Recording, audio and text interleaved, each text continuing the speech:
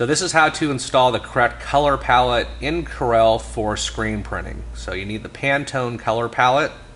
The stock color palette is CMYK, which is the wrong one for screen printing. So first thing that we need to do is change the color palette. So take your mouse and go up to Window, select Window, scroll down to Color Palettes, you'll see the color palettes open up to your right and you'll notice the first one is default CMYK. Down below is Pantone Solid Coated.